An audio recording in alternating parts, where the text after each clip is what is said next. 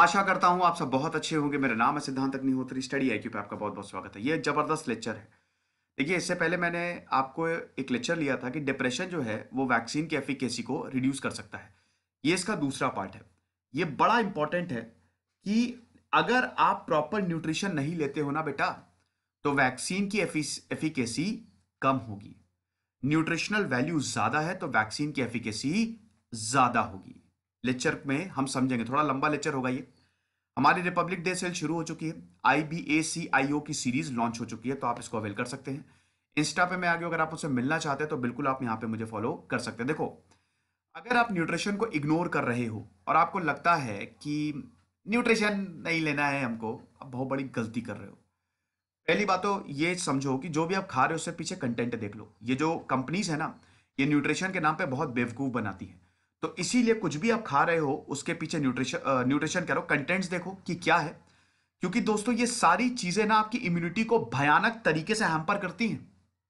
You will be surprise to know कि ये जो ट्रांस फैट्स अल्ट्रा फैट्स है ना ये ये प्रोसेस्ड फूड्स जो होते हैं इतने खतरनाक तरीके से आपको बीमार कर सकते हैं कि आप जान नहीं सकते। एक बार क्या हुआ मैं आपको अपना एग्ज़ाम्पल देता हूँ। एक बार क्या हुआ कि आ, मैंने क्या किया था अभी कि मैंने आ, मैंने सोचा कि बहुत दिन से मैंने कुछ बाहर का खाया नहीं है तो उसके बाद मैंने कुछ गलत सलत खा लिया। अब वो आप विश्वास करिए कि वो इतना ज़्यादा मेरे ऊपर इफ़ेक्ट किया कि मेरी पूरी बॉडी ही बेकार हो गई। मैंने मंचूरियन खा लिया, उसके बाद मैंने मंचूरियन के साथ राइस खा लिया, उसमें भी मंचूरियन था और काफ़ी ज़्यादा मिर्चा था, मैं मिर्च वैसे एक परसेंट भी नहीं खाता हूँ, ज़रा सी भी नहीं खाता हूँ, मुझे बिल्कुल सही नहीं लगती वो। और उसमें और ज़्यादा मिर्चा था, फिर चाय पी ली तो समझ लीजिए मेरी पूरी बॉडी बेकार हो गई और मैं बीमार पड़ गया, एक हफ़्ते तक मैं बीमार रहा। तो दोस्तों, ऐसा होता है ना कि अगर आप अपने न्यूट्रिशन को, अगर आप इस तरीके की चीज़ें करते हैं ये हर कोई करता है, आप लिमिट में खाओ, आप बिल्कुल लिमिट में खाओ, लेकिन हद से ज़्यादा खा रहे हो तो it is very very harmful तो अगर आप न्यूट्रिशन को इग्नोर करते हो तो दिक्कत है। नेचुरल इम्यूनिटी होती है इननेट मतलब एक्वायर्ड इम्यूनिटी होती है, ठीक है ना? मतलब नेचुरल इम्यूनिटी को ही इननेट इम्यूनिटी कहते हैं, और एक होती है एक्वायर्ड या फिर एडाप्टिव नेचुरल मतलब आपको कोविड नाइनटीन हुआ, कोई वायरस हुआ तो नेचुरली तरीके से आपकी एंटीबॉडीज बनेगी। एक्वायर्ड मतलब वैक्सीन से या कोई दवाई या ऐसा कुछ स्टिमुलेंट जो आपके इम्यून सिस्टम को ट्रिगर कर दे। समझ गए? ये मैंने कई बार बता भी चुका हूँ। और ये आपकी नेचुरल एंटीबॉडीज पे सॉरी न्यूट्रलाइजिंग एंटीबॉडीज पे डिपेंड करती है। तो अब दोस्तों, हम दोनों को ये जो न्यूट्रिशन है ना, इसको बिल्कुल भी इग्नोर नहीं कर सकते। क्योंकि वैक्सीन सिर्फ़ एंटीजेनिक स्टिमुलस देती है। बाकी पूरे अगर ऑल ओवर अगर देखें कि इम्यून सिस्टम प्रॉपर काम करे तो उसके लिए न्यूट्रिशन बहुत ज़्यादा इंपॉर्टेंट है। किस तरीके से बॉडी रिस्पॉन्ड करती है, वो आपके न्यूट्रिशनल स्टेटस पे डिपेंड करता है और ये इंडिविजुअल्स पे वेरी करती है। ठीक है? बहुत सारे फेसेट्स हैं न्यूट्रिशन के जो इस डाइटरी रिस्पॉन्स को स्टिमुलेट करते हैं। ठीक है? अब मान लो कि डाइट जो है वो डेफिशिएंट है वाइटल न्यूट्रिएंट्स में that is needed for a robust immune response ठीक है? It may have element that stoke high levels of inflammation in body यानी कहने का मतलब वही यही है कि अगर हम building blocks of immunity consume करें वाइटामिन कंज्यूम करें तो हमारा इम्यून सिस्टम लगातार बेहतर होता जाता है। अब देखिए, क्या है कि अगर आपका इम्यून सिस्टम अच्छा होगा तो इसका मतलब आपकी न्यूट्रिशनल डाइट भी बढ़िया है। अगर आप हद से ज़्यादा बीमार पड़ रहे हैं, इसका मतलब आपको डाइट डाइट से आपकी पूरी हेल्थ का कनेक्शन आप खा क्या रहे हो? तो इसमें जो अल्ट्रा प्रोसेस्ड फ़ूड होते हैं ना, जिसमें नेचुरल मतलब जो ट्रांस फैट्स होती हैं प्रोसेस्ड शुगर होती है, ये इतना ज़्यादा खतरनाक इतने केमिकल्स डाले जाते हैं। इनफैक्ट दोस्तों, जो बाज़ार में फ्रूट जूस आते हैं, जो इतने सारे जो सप्लीमेंट्स है ना, जो कहते हैं खाने के मतलब अल्टरनेटिव जो कहते हैं कि हम बहुत प्योर हैं। हम वो भी प्योर नहीं आप उनके कंटेंट तो देखिए। वो एड में तो दिखा नहीं सकते एडवर्टीजमेंट जो आता है, वो तो अपने आप को ऐसे दिखाते हैं कि उनसे पवित्र कुछ है ही नहीं। लेकिन जब आप पलट के, क्योंकि कंटेंट आपको कंपलसरी है दिखाना, ठीक है? लेकिन जब आप पलट के देखोगे ना कंटेंट आपके होश उड़ जाएँगे कि है क्या? इसीलिए हमेशा आप कंटेंट देख के प्रोडक्ट खरीदो, ये बहुत ज़्यादा इंपॉर्टेंट है। तो अगर आपको अपना इम्यून सिस्टम बढ़िया रखना है तो घर का ही बना हुआ खाओ अच्छा खाओ, घर में भी ऐसा नहीं मैदा बनवा रहे हो या तला हुआ ज़्यादा खा रहे हो, बढ़िया खाओ कभी कभी खाओ नो डाउट आप दो तीन हफ़्ते में खा लो, कोई दिक्कत नहीं है। लेकिन हद से ज़्यादा खा रहे हो तो ये प्रॉब्लम क्रिएट करेगा। मैं आपको अल्ट्रा फैट्स के बारे में प्रोसेस्ड फूड्स के बारे में थोड़ा सा बता देता हमारे जो बैक्टीरियाज होते हैं ना, जो यूजफुल बैक्टीरियाज होते हैं, ठीक है? जिनको मतलब प्रोबायोटिक जब आप लेते हो, जैसे जो दही है, वो सबसे बेहतरीन प्रोबायोटिक सोर्स है। आप सुबह दही ले लो। दही ले लो आप वो बाहर से मीठा दही अवॉइड करो, दही ले आओ बाहर से, और उसमें गोल्ड डाल के खा लो या चीनी डाल के खा लो, वो सबसे बेहतरीन प्रोबायोटिक है। वो यूजफुल बैक्टीरिया बहुत ही ज़बरदस्त तरीके से वो आपको फ़ायदा करेगा।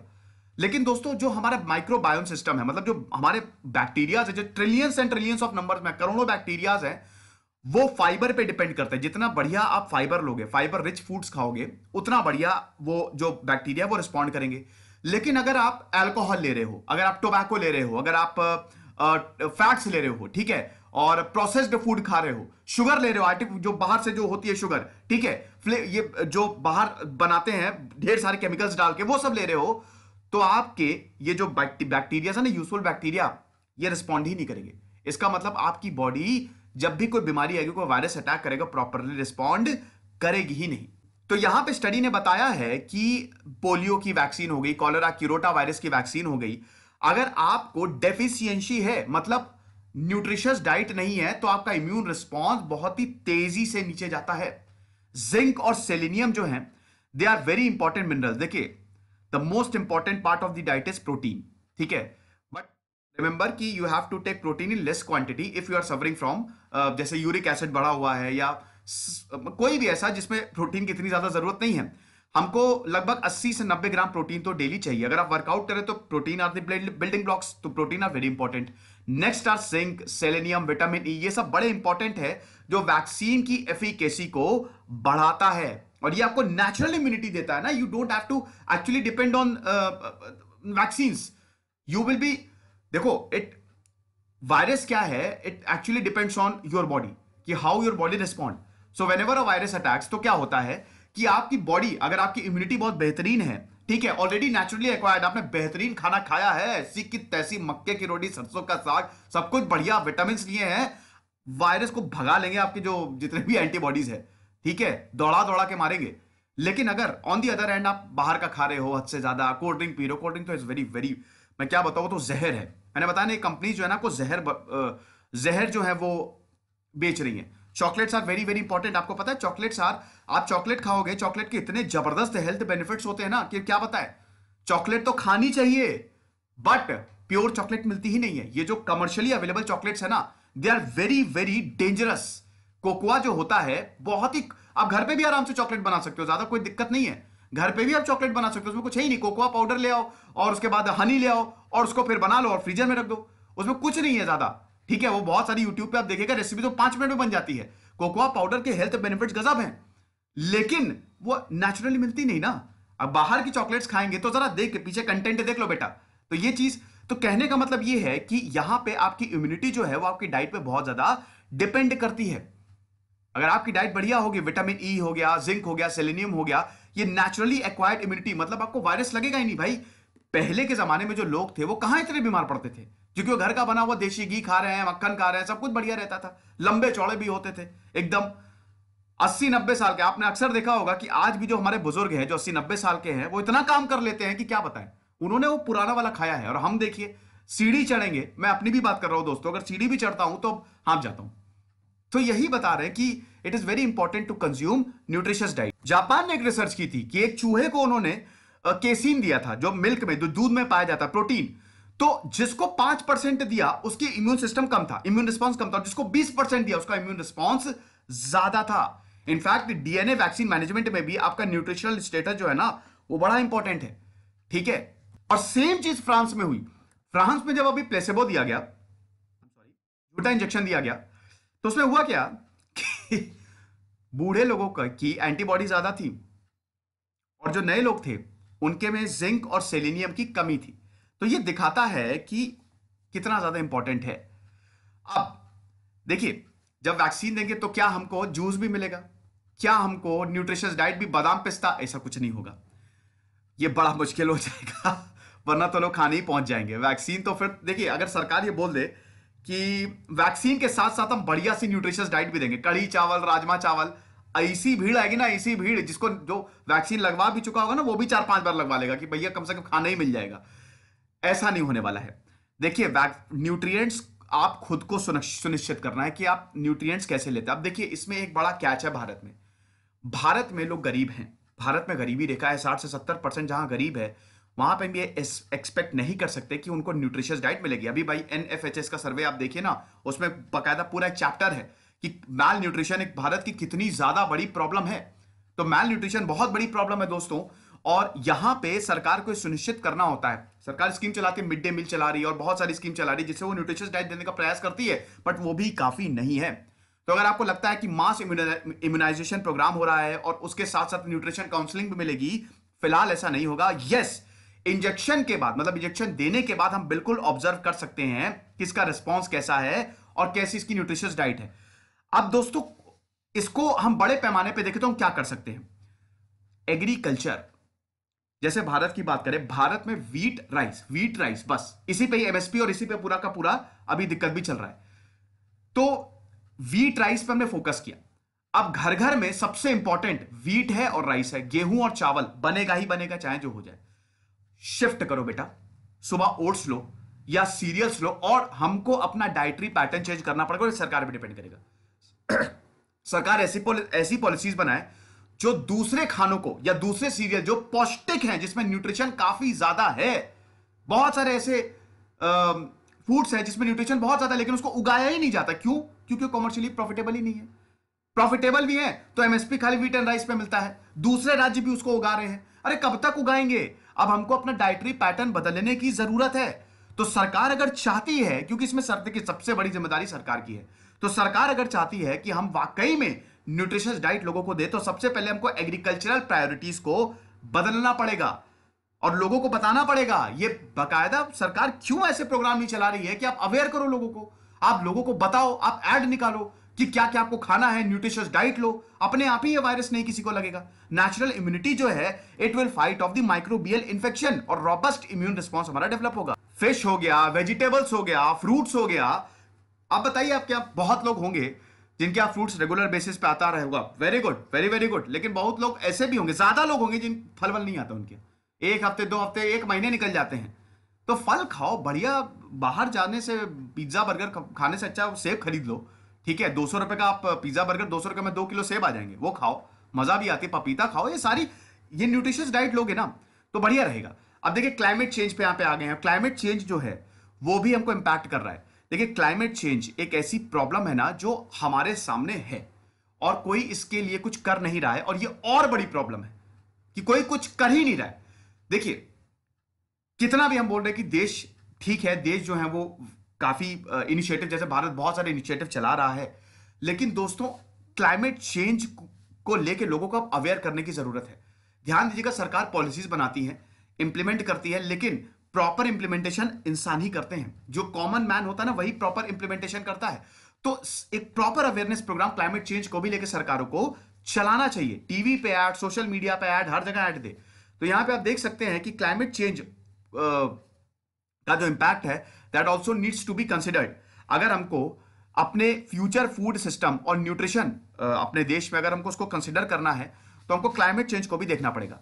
अब आप एक स्टडी हुई थी कोलंबिया यूनिवर्सिटी में, उसने ये बताया कि क्लाइमेट चेंज का इंपैक्ट जो है 2050 में बहुत ज़्यादा होगा। अब आप देखिए कि nutrition quality of stable staples would decrease according to the study यानी कि जो हमारे स्टेपल फूड्स है ना, उनकी 2050 तक न्यूट्रिशन क्वालिटी कम होती जाएगी। 49.6 million new zinc deficient person बताइए। पाँच करोड़ जिंक डेफिशिएंट पर्सन अभी मैंने आपको बताया कि जिंक और सेलेनियम बहुत इंपॉर्टेंट है, ठीक है? फिर से फिर से फिर से। ये देखो जिंक और सेलेनियम बहुत इंपॉर्टेंट है इंपॉर्टेंट मिनरल्स है। अगर आपको प्रॉपर इम्यून रिस्पॉन्स चाहिए नेचुरल इम्यूनिटी के लिए लेकिन भारत में 2050 तक पाँच करोड़ जिंक डेफिशिएंट पर्सन चार करोड़ लगभग प्रोटीन डेफिशिएंट पर्सन और उसके नीचे आप देखिए, ये सॉरी 11 करोड़ बच्चे 40 करोड़ औरतें आयरन डेफिशिएंट औरतों को वैसे ही आयरन डेफिशिएंसी होती है अनीमिया होता है। ये बड़े चौंकाने वाले आंकड़े हैं। अगर आप इस स्टडी को गौर से देखें तो इसका कुल मिला के मतलब यही है कि हमारे इम्यून सिस्टम की 2050 तक बैंड बजने वाली है। यानी कि Bharat will be prone to diseases and viruses more viruses will attack us bacteria will attack us and in order to curb that we have to produce immunity and immunity comes from these minerals तो जब तक हम, जब तक सरकार कुछ नहीं करेगी इम्यूनाइजेशन प्रोग्राम तो चला ही रही है, लेकिन एक न्यूट्रिशन प्रोग्राम भी चलाए, तब तक कुछ होने वाला नहीं है। तो तो सबसे बड़ा चैलेंज यही है कि किस तरीके से हम अफोर्डेबल फ़ूड सोर्सेज मैंने आपको क्या बताया, भारत में बड़ी प्रॉब्लम यह है कि भाई ठीक है, बादाम पिस्ता हर कोई नहीं खा सकता तो हमको ऐसे खाना चाहिए, ऐसे फ़ूड सोर्सेज चाहिए जो अफोर्डेबल हो बैलेंस्ड डाइट चाहिए जो साइकोलॉजिकली और हेल्दी बेनिफिट्स दे मतलब हेल्दी हो हेल्थ के लिए बढ़िया हो। अब इसमें ये डाइट जो है it should be plant based देखिए, मैं पर्सनली बहुत ही you have to be vegan I am really sorry आज पहली बार मैं बोल रहा हूँ। कि इंसानी शरीर एक वेजिटेरियन शरीर है। और अगर आप चाहते हैं, देखिए, शेर जो है, उनके दांत देखिए, बहुत सारी चीज़ें दोस्तों, कम से कम दस पंद्रह पॉइंट में बता सकता हूँ। उनका डाइजेस्टिव डाइजेस्टिव सिस्टम इस तरीके का है कि वो नॉनवेज को अच्छे से डाइजेस्ट कर सकते हैं, लेकिन हमारा ऐसा नहीं है। हमारा डाइजेस्टिव सिस्टम जो है, वो प्लांट बेस्ड सोर्सेस को अच्छे से डाइजेस्ट कर सकता है। वरना दोस्तों, देखिए, आयुर्वेद में भी ये लिखा हुआ है। मैं बिल्कुल आपको प्रॉपर डेटा के साथ बता रहा हूँ कि आयुर्वेद में भी इस तरीके के, उसमें बाकायदा लिस्ट दी हुई है कि किन खानों से आपको दूर रहना चाहिए। उसमें नॉनवेज बहुत सबसे नंबर वन पे आता है, ठीक है? तो अगर आप कोशिश करिए कि आप वेजिटेरियन डाइट पे शिफ्ट हो जाए, है ना? और इसका एक रीजन ये भी है कि आप जितने बड़े अगर आप डाइटिशियन से पूछेंगे और जिनको थोड़ी भी सी नॉलेज है, वो आपको यही बोलेंगे कि आप जितना ज़्यादा वेजिटेरियन कंज्यूम करें, उतना ज़्यादा बेटर है। तो बेस्ट यही है कि plant based nutrition is very very important ये न्यूट्रिशनली अप्रोप्रिएट भी है और इकोनॉजिकल सस्टेनेबल अक्सर लोग बोलते हैं, जब नॉनवेज और वेज में डिबेट होती है, देखिए वैसे मैं, ठीक है, अगर आप नॉनवेज खा रहे हैं तो उस पर भी कोई प्रॉब्लम नहीं है, वो अब चॉइस है, लोगों की अपनी अपनी चॉइस होती है, लेकिन अक्सर लोग बोलते हैं कि आप प्लांट को मार रहे हो, उसको भी दर्द होता है। ये, बहुत ही एक, ये आर्ग्यूमेंट बिल्कुल गलत है, ठीक है, अगर आप साइंटिफिकली जाएँ तो ये बिल्कुल गलत आर्ग्यूमेंट है, ठीक है। इसका रीजन ये कि पहली बात तो प्लांट का कोई सेंट्रल नर्वस सिस्टम होता नहीं है और हमने, हमको पता नहीं है कि प्लांट में बहुत सारी आवाज़ें आती है। प्लस प्लांट रीजनरेट करता है, वो रिक्रिएट करता है। आप अगर फल तोड़ रहे हो, अगर आप उसको नहीं भी तोड़ोगे, आम का मान लीजिए पेड़ है, अगर आप उसको नहीं भी तोड़ोगे, अपने आप गिर जाएगा कुछ टाइम पे। तो अगर आप फल को तोड़ रहे हो, वो रीजनरेट करेगा। प्लांट को आप मार नहीं रहे हो, उसको जड़ से नहीं उखाड़ रहे हो। समझ रहे हो ना? तो ये थोड़ा सा ध्यान भी देना चाहिए बट ठीक है अल्ट्रा यहाँ पे हमको प्लांट बेस्ड सोर्सेस पे जाना है। और सबसे बढ़िया रिकमेंडेशन यहाँ पे जो ऑथर ने दिया है ये जो अल्ट्रा प्रोसेस्ड फ़ूड है ना, इनको रेगुलेट करो टैक्स कर दो। टैक्स लगा दो। ठीक है? लोग अपने आप ही खाना छोड़ देंगे। सरकार का भी फ़ायदा होगा। खा रहे हो, खाओ। खूब पैसा है, तुम्हारे पास खाओ। ये जो अल्ट्रा प्रोसेस्ड फ़ूड है टैक्स लगा दो, इनको रेगुलेट करो। अपने आप डाइटरी पैटर्न बदलेगा। तो आई होप दोस्तों, ये लेक्चर आपको अच्छा लगा होगा प्रॉपर इंसाइट्स मिले होंगे। अच्छा ये मेरा टेलीग्राम चैनल है, इसको आप ज़रूर ज्वाइन करिएगा। अभी तेरह हज़ार सब्सक्राइबर है। जैसे सिद्धांत अग्निहोत्री साइनिंग ऑफ़